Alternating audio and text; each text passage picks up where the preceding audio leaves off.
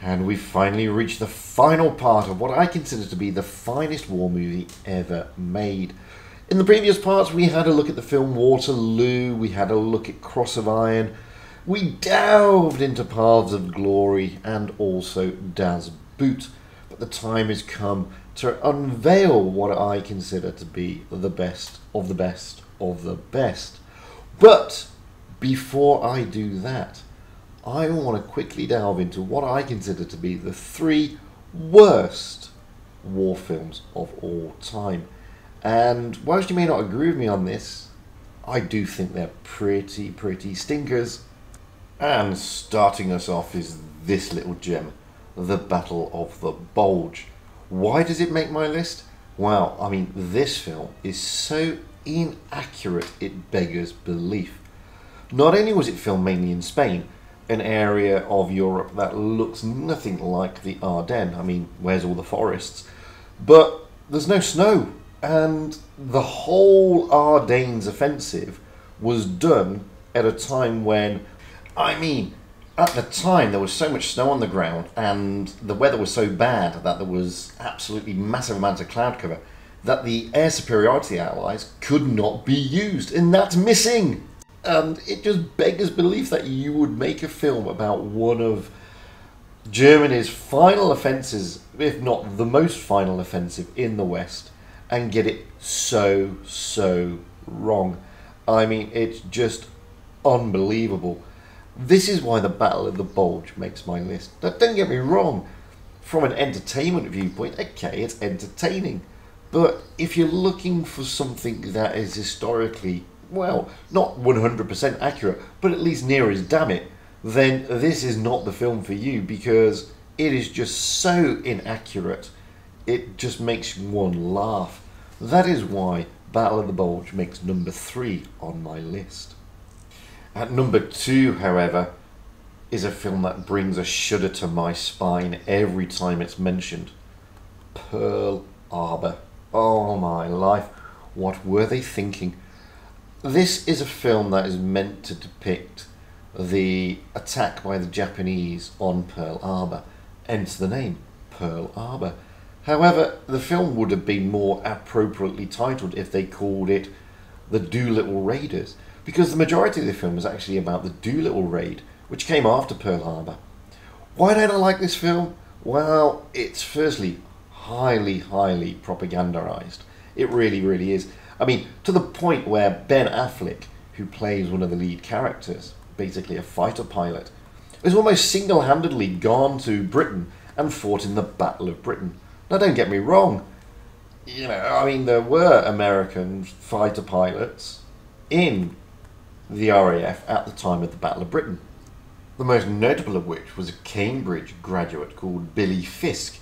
However, the way the film portrays Ben Affleck is being like single-handedly able to destroy so many German aeroplanes does not only a dishonor to those American servicemen who did fight in the Battle of Britain, but is just flag waving for the heck of flag waving. Don't get me wrong, visually, some of the scenes are very, very good. The attack on Pearl Harbor itself is pretty, pretty nicely done. But underlining all this is this ridiculous love story which sort of runs through the entire movie. And it's more of a love story than it is a war film. It's a love story with a little bit of war movie involved. And for that i just think it's a truly terrible film. And for such an important event in history namely the attack on pearl harbor again i think this film does it a disservice. Anyway let's move on to what I think is number one. At number one, it can only be this disastrous and truly awful war film, Inchon. Now, Inchon is basically an American Korean film whereby it was meant to depict the the turning point of the Korean War with ironically Laurence Olivier playing General MacArthur. I mean, they couldn't even get an American to play General MacArthur. Don't get me wrong, I love Laurence Olivier. I think he's a great actor, but he is no American, and he's certainly no reasonably convincing MacArthur. And that's just one of the many, many, many issues beyond this movie. I mean, this film is just truly shockingly bad.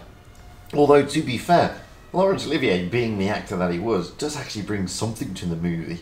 The rest of them are just one dimensional wooden cardboard cutouts with absolutely horrific dialogue. Inchon truly is a shocking movie. Uh, but if you want a good laugh one night, then you can get it. Uh, you can get the entire movie sort of free on YouTube. I'm also going to do a notable mention because I think it's worth it. And that notable mention is this highly propaganda film, The Green Berets. Now, don't get me wrong, I mean, it's fun to watch, but I mean, it just stinks of propaganda upon propaganda. Don't forget, this film was made at the height when American society was turning against the war, and this was basically brought in to show that it's such a valiant cause and our guys are doing so well, etc., etc. And they were they had some big star power. John Wayne, in fact, the entire almost the entire second season of Star Trek, the original series, was devoid of so, uh, Sulu because he was in this film. I mean, but it's a shocking movie. Historically inaccurate, everything about it is inaccurate, but it is a bit of good fun. It's not as bad, in fairness, as Inchon, but it's still a truly, truly shocking movie. So, what do I think, however, is number one? Well, for me, there is only one war movie that tops the best of the best list, and that is Stanley Kubrick's masterpiece, Full Metal Jacket. Set during the Vietnam War, this is one of the most realistic war movies out there. Okay, so the first and the second acts don't really show any war or any actual fighting, but what it does try to make you, the viewer, is be part of the process of turning a civilian into a fighting machine. And Act 1 of the training at Parris Island is about as close as you will ever get to having the experience of what basic military training is all about. It helped that. Lee Ermey, who was previously a Marine instructor during this period, was brought in as the drill instructor in Full Metal Jacket. And boy, what he brings to the table for the basic training part is gritty, mean, and above all, totally, totally real. Ermey doesn't really need to act for this part. He'd already done it for real life, and boy does it show. The film itself starts off with the initial breaking down process of the man, the shaving of the hair, and then it follows the total dehumanization of the recruit in order to turn them into an obedient soldier. And it shows graphically how the military machine tries to achieve this in a relatively very short period of time. We are taken into the very heart of the boot camp experience, even to the point where the focus of the training shifts from Private Pile to Private Joker to Private Cowboy. But it's Private Pile that we are drawn to because it is taken his dehumanization is taken so far that he eventually exceeds to the point of no return. Even then, however, the drill instructor still believes that the goal of making a military robot has been achieved with disastrous consequences. We then shift the action to Vietnam itself, where we're now following fully Private Joker. We had followed him during the training, but he's now the focus of attention and he's been assigned to the Marine Press Corps. Here, Joker and his company are far behind the enemy lines, meant to be reporting on how the US is winning the war, and here we start to experience the cynical side of war. Even to the point where Joker is rebuked, in part, for failing to mention how many Viet Cong had been killed in a recent action, prompting his officer to say to him, We do two kinds of story. Grunts who give half their pay to buy gooks books and toothpaste, hearts in minds, hmm. and combat that results in kills, winning the war. During this part of the movie, the famed Tet Offensive happens, and again we see war from a distance, whereby the North Vietnamese attack the Da Nang air base and the Marines repel them rather easily, albeit from a distance and with no immediate casualties on the Marine side. We then move the action into the field, whereby Joker is now assigned to Hue alongside infantry combat marines. Here he meets up with his boot camp counterpart, Private Cowboy, whom he had made friends with earlier in the film. Again, we get to experience the cynical side of war. Firstly, with Joker being berated by a senior officer for wearing a peace symbol on his flak jacket, and then he experiences exclusion from some of Cowboy's own platoon because he is not combat marine. For the final part, we move into Hue itself and we follow the platoon who has now been joined by Joker and his junior Rafterman as they experience the Battle of Hue. Here the platoon comes under fire from the enemy and for the first time Joker starts to actually experience the harsh reality of war as members of the platoon are killed off one by one. With the officer down, Cowboy takes over and seeks tank support, for which there is none, and then seeks to retreat, prompting the platoon to split.